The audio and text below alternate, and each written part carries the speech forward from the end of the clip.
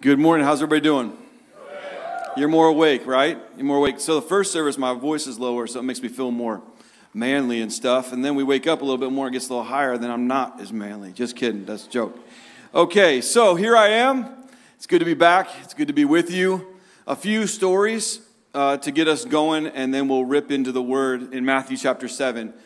Number one, I am the executive director of NeighborLink, so I just wanted to encourage you, challenge you to jump in, to get ready for August.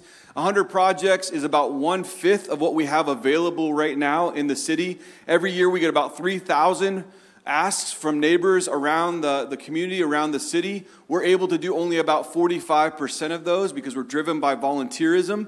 And so the prayer is that Pine Hills family jumps in the gap in a way that, that changes that trajectory, not for the glory of NeighborLink, but for the glory of Jesus. Amen? So, first story. Uh, I try to go do jobs as, as this director uh, throughout the city. And about a week and a half ago, uh, I went to mow a lawn uh, with another member here, another buddy here from Pine Hills. And uh, all we were doing is mowing a lawn. And so we get there with all of our lawn stuff and we, we go knock on the door. And uh, as we uh, are greeted by a woman, we get invited into the home. And uh, this is the sister of the woman who owns the home. The, the owner of the home is 34 years old. Uh, she has days left to live, and she's in her hospice bed. And uh, she has three kids from 6 to 15 and she's in the middle of uh, some really hard marital stuff at the same time. And she invited us into her home to sit on her bed to be with her that day. I don't know, uh, to, I, I checked in on her, but I don't know if she's still with us or not, or if she's with Jesus. But I will say what's beautiful about NeighborLink is more than the project, it's the relationship that Jesus is inviting us into. We get to sit there and pray with a woman um, in, between, in between her very last breaths. And so I, I will tell you that that may be, that feel like the deep end of the pool for you, but all we were doing was mowing a lawn. And, and th- these folks are raising their hands and say, Come on over. I, I'm in a spot where I can't do it myself. And, and I would just say that is a sweet spot that Jesus is inviting us into. And what if that was our daily rhythm? But let, let's just say August, we go sit in people's living rooms, we mow people's lawns, we fix people's homes, and, and what kind of relationships could happen, and more importantly, what kind of engagement could happen for the glory of Jesus? Just a question. Second story. So I'm uh, about 23, 24, 25. I don't remember now. I'm over 40. Time is escaping me. Uh, some of y'all are like, man, just wait. So, anyway, I'm at a city prayer meeting. I've got my hat on backwards. I've got a couple tattoos at the time. That's a whole different story about how those tattoos happened. Uh, so I'm sitting there in this room with church people from all over the city. And as I sit, I got my head down, hat backwards, and I'm just praying. Just sitting there, chilling, minding my own business, talking to Jesus, listening to Jesus. And a woman came forward, pulls me up out of my seat. She's all of four foot ten, and says, You're coming up here with me. I said, Okay. And I shuffle up there. As I get up there, she uh, appropriately designates two men to stand behind me because she's going to start praying for me. If you know what that means, is they're going to get ready to catch me. So what that means for me is I'm going to stand in a football position. I'm going to flex every muscle in my body, and I'm going to stand there and take it like a man. And it ain't going down. So some people just stood there like this and they're like a bobber getting busted by a bass. It doesn't work like that. I'm like football stance. My pastor that I'm serving with staring at me like, bro, if you go down, this is legit. And so, so I'm standing there and she starts standing in front of me. She starts talking to me. She goes, oh, honey, why are you running from the Lord? And I was like, um, I'm not. And she punches me in the chest. She's like, shaka boom bang. And I was like, what the? So I'm just, I'm like, now I'm, I'm here and I'm there and this is going on. So I'm standing there. My feet are now grinding into the carpet. Like, like if you could do that, like if you can do that, you're special. So I'm there. I'm gripping gospel shoes of peace, man. I'm like in there with cleats. Everything's clenched. And I'm in there. And she, she goes, why you committing adultery on your wife? And I was like, she goes, bam! And I was like, what the? No, I'm, I'm not. I'm not. I love my wife. And she goes, why are you doing drugs then? She went down the whole laundry list of possibilities. I was like, I'm not. I'm not. I'm fine. She hits me three times. Each time I only got stronger in this moment because I was like, I'm, I'm ready for war. And then I, she didn't get it. So I said, ma'am, how about I pray for you? Is there any way I can pray for you? She switched spots with me and she's ready for me to punch her in the chest and get, and get caught by these fellas. Neither of which happened. I did not knock her out, but I did pray for her. She did not fall. She had no idea that she was just like misapplying the word over and over and over again, right? No clue. And then when I said if I could pray for her, she had no clue about what just happened. She was like, oh, yeah, yeah, no problem, let's do it. Story one. Not what we're talking about today, but so often we speak when we shouldn't. Okay? We think we have the ideal for other people's lives when we should just shut our mouths. One. Two, uh, my wife and I had just started dating. I was 18, she was 17. This is where she normally says, You're going to pay me for bringing me up in your sermons. I've never paid for her uh, for a story that I've used, but I continue on. So, 18, 17, we're, we're dating. We started writing music a month into our relationship. And about a year later, I was at a festival in Pennsylvania for about 30,000 students. It was like a Christian Woodstock without the Woodstock. And so uh, we're there. I'm in a tent with maybe a few thousand people. And if you were there back in the 90s, late 90s, there was a band called Sonic Flood. Yay. So they were playing their music. I was all in. And, a, and another man walks up to me out of the crowd. He did not look like he was doing that well. He looked, I would say, like he, he uh, his, his clothes were disheveled, his face, body disheveled and he walks up to me out of this crowd and he goes, Hey, man. Hi. I'm 18, 19 years old. Hey, you play the guitar, don't you? I was like, Yeah, and so does every young teenage boy here. That's what you do in youth group to get a lady. So, it worked. Um, so, so I'm there, and I said, Yeah. And he goes, No, no, no. Like, you, you play the guitar. And he, he goes, You're going to travel the world and tell people about Jesus someday. And I was like, Oh, that kind of guitar. And then I said, Well, what about my future wife? Mandy. He goes, Oh, she'll be singing on your hip. I was like, Oh, okay. Put that in my pocket, walked away. Uh, the next summer, I was working at my dad's factory, and where he's, he's a vice president. And so I'm working on the factory floor, and a man walks up to me. It's like a straight up drug deal. And he goes, Here's $2,000. Puts it in my hand. He goes, You're supposed to make an album with Mandy. Cool. I put that in my back pocket.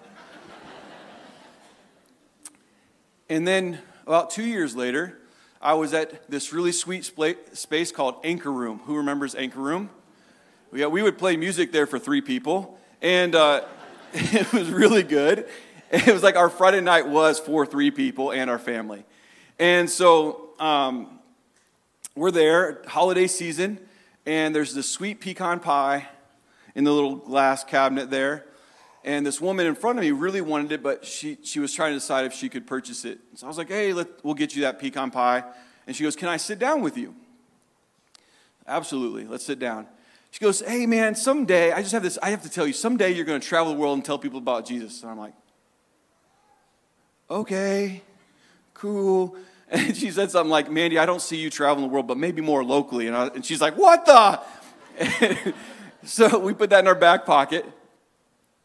We continue to serve in Fort Wayne. At 27, Mandy's 26, I started praying a secret prayer Lord, kick us out of Fort Wayne or put us in concrete. It's your will. Your will be done. We'll do what you want to do, but uh, there's, there's a stirring going on. So either kick us out or put us in concrete, whatever you want to do. Prayed, prayed that for a month without Mandy knowing and not really telling many people. Went on a trip, met a buddy from Maine. He's become one of our better friends. Came back to take a trip of about 10 folk, uh, 10 kids from Northside High School that didn't know Jesus. And we're like, man, these kids are going to know Jesus on this trip. It's for sure. Like, there's no reason that their families would let us take them. They don't know us, but they're letting us go on this trip. And Christ is going to be magnified in their hearts this week.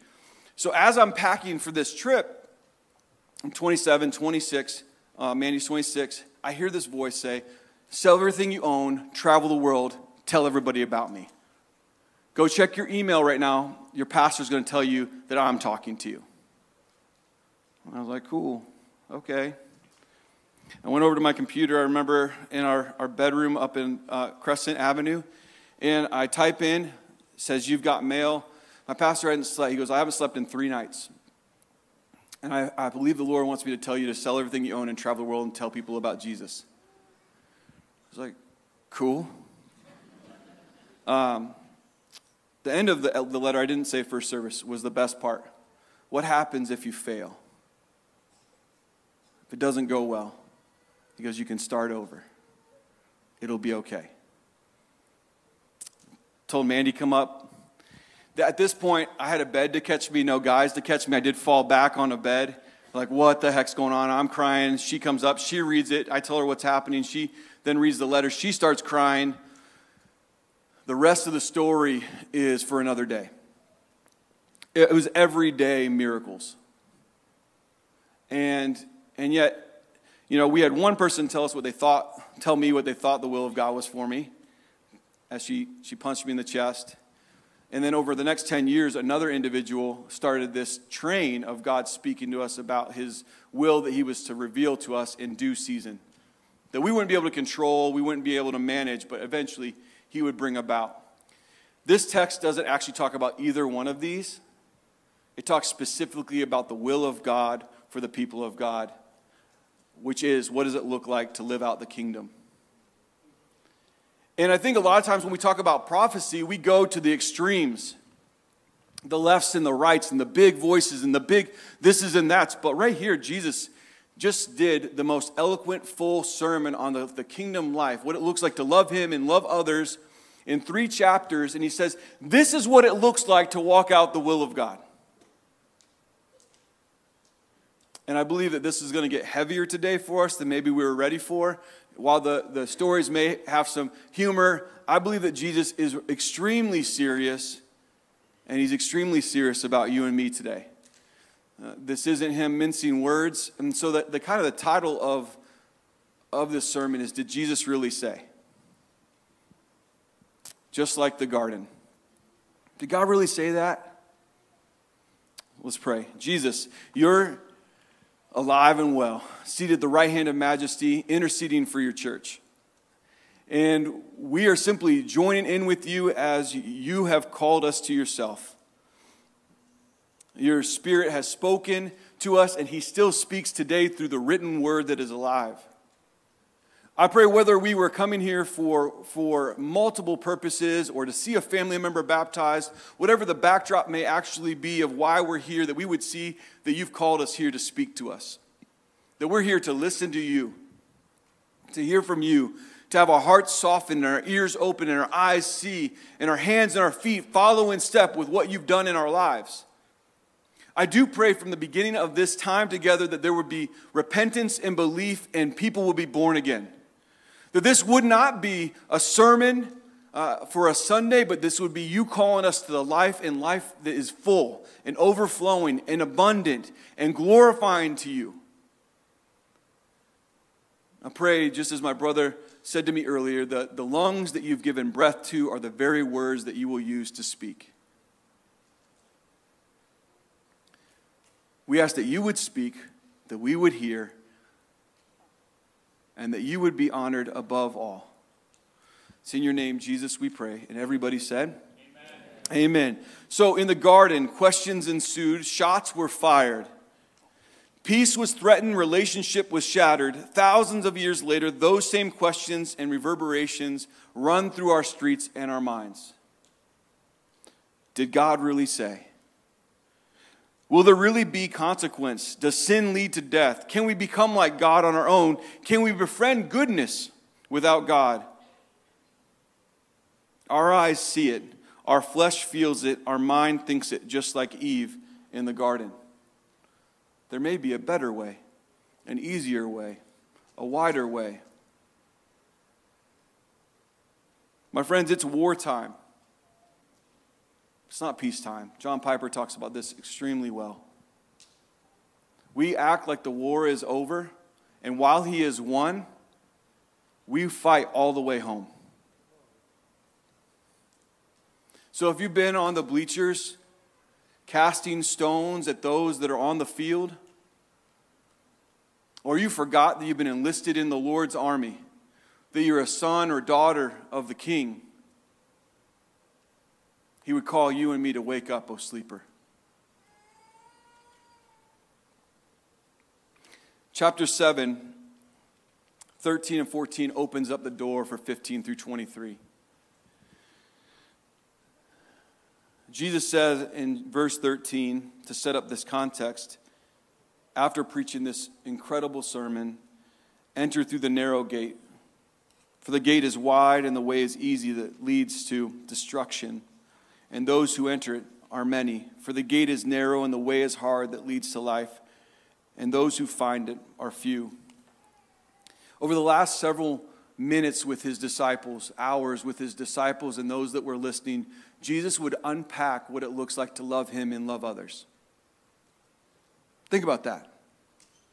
Jesus' fullest sermon expounds on the idea of worship and relationship with others. It's not this general abstract idea love God, love others. He goes, here's how it looks. Here is the fruit that will be born. He said, ordinary, average Joes will be blessed, and as they are blessed in me, to be broken and see their poverty and mourn over their sin and become humble and, and hungry and thirsty for righteousness and people of peace and mercy and purity and willingly rejoice over persecution, those folk are going to be salt and light to the world. They're also going to be a people that are centered on Christ. They're going to see that all of the law is fulfilled in Christ Jesus, just like Jesus would say in Luke 24. Man, the prophets and the Psalms and the songs, they're all about me. He says these people will be reconcilers. They won't just partake of communion, they will reciprocate the communion the fellowship of forgiveness will be given freely. My friends, our age and, and in our culture, people want unity.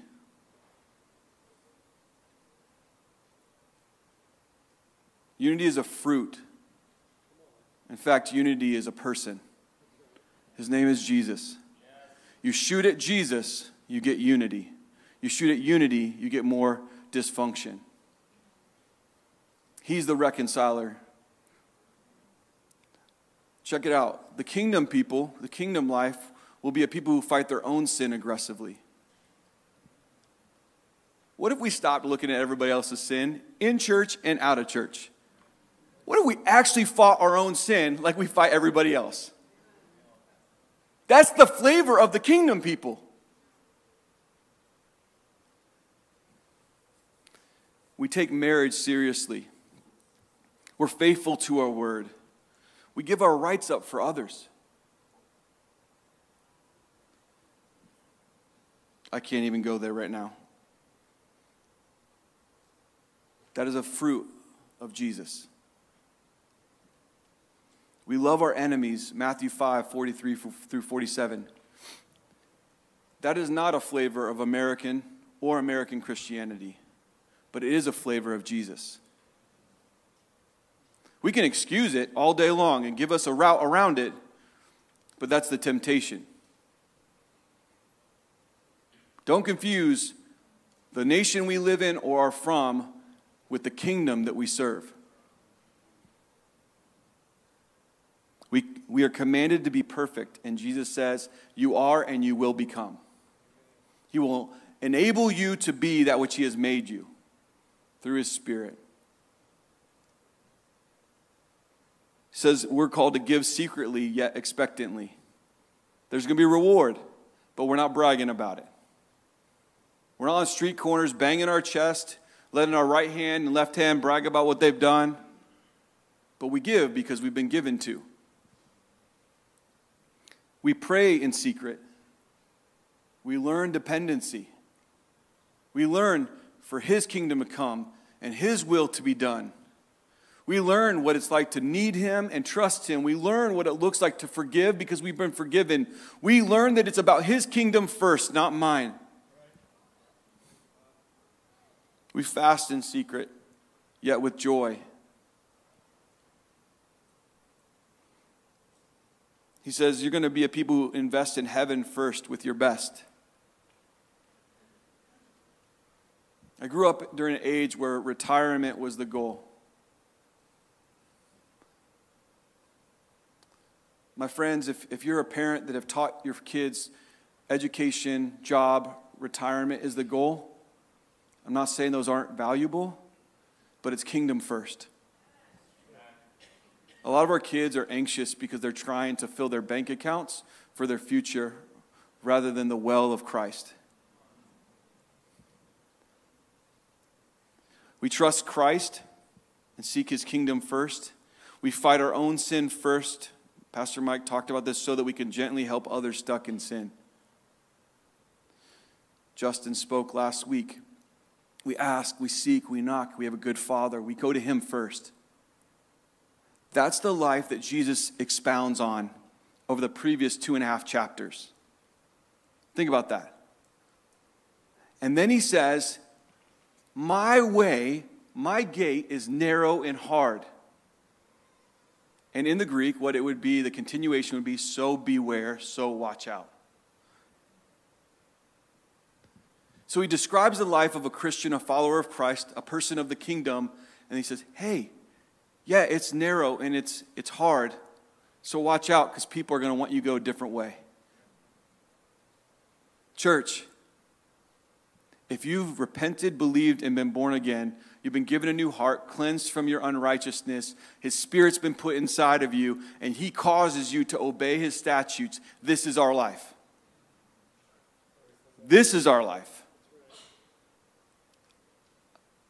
We want people to speak big things. We want to know where we're going with our life. What, God, what's your will? It's right here.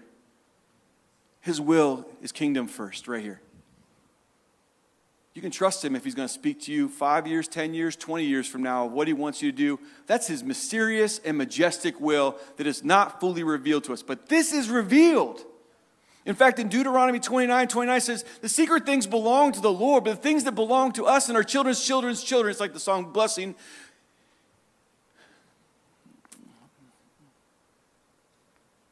is Christ in us. The mystery that's revealed is Christ in us. All the rest of the mystery brings us to majesty. Oh man, you're too wonderful. I don't understand it. But what you have told me is Christ in me, and you will cause me to live this kingdom out. So then Jesus says in verse 15 Beware of false prophets, false messengers, false ambassadors that would lead you away from the hard or the narrow way. They're going to come to you in sheep's clothing. They're going to look like you, they're going to smell like you, they might even eat like you, but they are not you. See, wolves travel in packs, they're extremely strategic. They are very uh, intentional about their movements and their patterns, and they wait for vulnerabilities. They wait for the weakness in the lowest part of your wall to be able to be exploited on their terms so that they can take you out with the least energy, which is why they blend in. He said, But you'll be able to tell them by their fruit.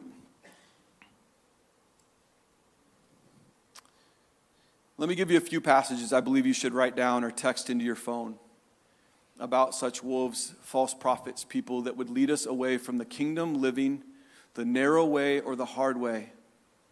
I mean, listen, I hear you and I understand you that I would rather an easier way, an even wider way.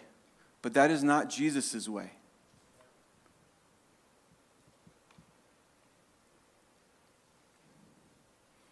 Acts 20, 25 through 31, he says, These folk will come from the outside and the inside.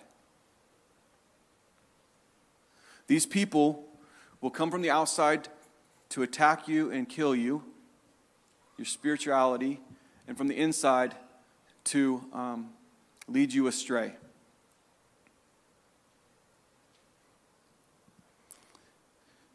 Deuteronomy 13. You're going to need to read the whole chapter. He said, There's going to be a prophets, they'll come, leaders that will come, and they will do miracles amongst you. And they'll say, Hey, let's go serve these other gods. Don't go. I'm your rescuer. I redeemed you from Egypt. Don't be tempted by that miracle. Don't be tempted by that work. Come home. So you might have a family member or a dear friend come in and say, Hey, we should go serve other gods. Don't go. Come home. I'm your redeemer. I'm your rescuer. You may have a stranger come into your life and they're going to say, Hey, let's go over there. God's over there. Stay home. I'm your redeemer.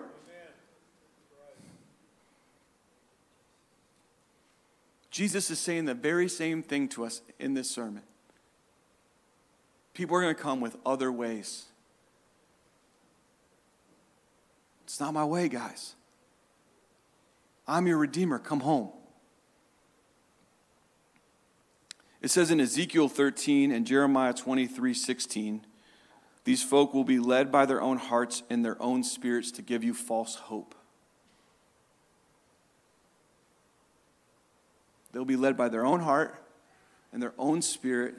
And Jeremiah 23 says, to give you a false hope. And lastly, in 2 Peter 2 1 through 3, they're going to secretly introduce you to destructive heresies and fabricated stories. Jesus wasn't mincing words, my friends. He gave you and me a life to live. He said, uh, Mark 1:14, repent, believe, you'll be born again. John chapter 3 verse 7, you must be born again. And then he goes and shows us the life of being born again. We're looking out there for something that he's already given us. And folks are coming in and out of our lives to say, hey, over there, over there, over there, over there, over there, over there, over there, over there. That's the ki-. no, this is the kingdom. This is the will of the Father for you and me. The world longs to meet the real Jesus. Not some fake, not some phony, not some fable, not some fairy tale. This Jesus, the one that forgives without hesitation the one who lays their life down, down to serve their enemy.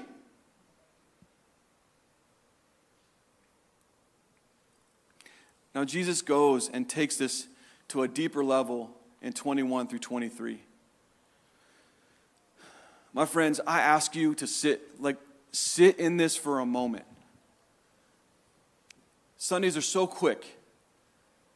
Life is a vapor.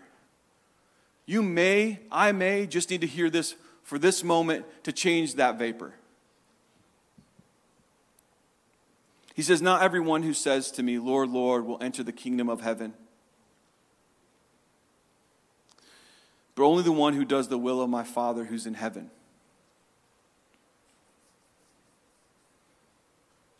What if the whole last three chapters were about the will of the Father? What if we've gotten convinced that it's about his name and later on about miracles and prophecy and rescuing demons? Meanwhile, God says, Those are all great, but that's not what I've asked of you. I've commanded you to live this life as I just preached it. That's my will. Later on in Thessalonians and Romans, he would break down and say, Hey, my will is for you to be thankful, to be sanctified, to be transformed. We surely know that John 6 29 says, The work of the Father is you would believe in the one who was sent.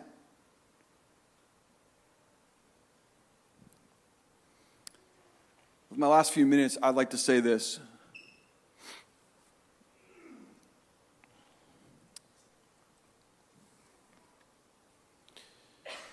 When I was when I was a little kid, I knew who I was. I struggled along that path. God was very kind to speak into my life and protect me from myself. I started uh, teaching and preaching at 13. I'll never forget it with my note cards, my shirt off to the side because I couldn't put the lapel mic on properly. And I'm just like, what the heck am I doing here? My youth pastor was so kind to let a fool like me try to stumble through the news of Jesus. By 14, I knew I was going to be a pastor. By 17, 18, 19, God was already speaking in fresh ways to change the trajectory of what would happen and what we'd be doing. By 20, we're helping plant churches. By 26, 27, we're missionaries on the road. By 29, we're replanting a church in Fort Wayne. By 34, we're being sent out to Maine to be missionary planters. And what I would say is, we got to Maine and we did a bunch of cool things. We hung out on the streets with heroin addicts while we fed them. In the snow and in the rain, it was one of the more beautiful pictures um, that we've ever seen of, of just gathering with the tax collector and sinner. And I'm talking a plethora of people in a parking lot that are all doped up hearing the good news of Jesus. We'd hang out in homes of refugees and immigrants. We'd hang out downtown at the, the city level with uh, my job and hustle for a paycheck. And we would uh, we'd go and buy or co-own a gym and see people at the front door that would never be in proximity to Jesus. And there was a lot of good things that happened. But if I could throw myself under the bus What if all of that was good, but that was not what the Lord asked of me? What if that was the wilderness that He intended so that we would run dry, do good things, and be called back to the kingdom of God? What if serving in all those ways weren't the ways He actually wanted us to serve? What if preaching all those ways wasn't what He wanted me to preach? What if hanging out with those on the streets? Man, that sounds great until you, until you recognize that my heart was dry and weary. And I was far from Jesus. What if we're doing the right things? But Jesus goes, Man, that's not what I have for you. The sermon that I, I've given you, I do have for you. I do want to be with you, and I want to show you a more excellent way. I want to show you how to love your enemy and forgive those who hurt you. I want to show you what it's like to depend on me and not hustle for a dollar. What if I didn't have to work 80 to 100 hours a week to pay my bills? But I stayed home and waited. What if I wasn't in a coma every night where I was exhausted because I was trying to provide for myself and my wife and kids? What if I wasn't going from one job to the next job to hang out with people in the middle of Portland just because that's what I thought I was supposed to do. What if I just waited and trusted and sought first the kingdom of heaven? What if? What if I didn't get distracted by what I thought ministry was? For who ministry is for?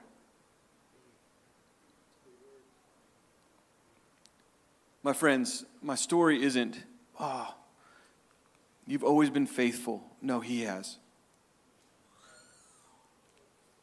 The second thing of my story is just like you, just like Israel, Jesus tends to allow us to go through wilderness so that we crave real water and real bread in a, in a weary and dreary land.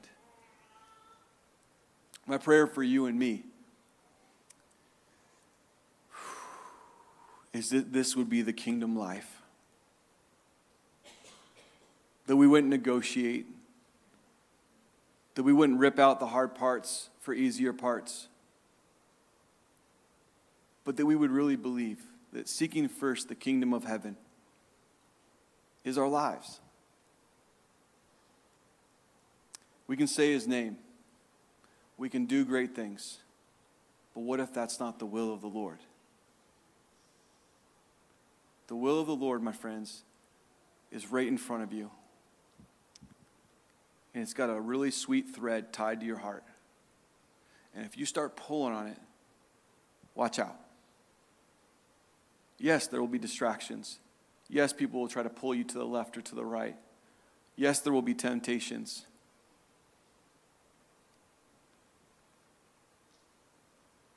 But He will be good. What happens, Pine Hills Church, if we as a family believe that Matthew 5 through 7 is the life we've been called to live, that, that bears fruit of loving God, loving one another, and loving our neighbors? What if we don't look for the next thing, the next what God has for me, but we, we, we double down on what He's put before us? What happens? What happens to our marriages? What happens to our parenting? What happens to our city? What happens to our neighbors? What happens to our workplace? What happens to our relationships if we actually believe that this is the way of Jesus?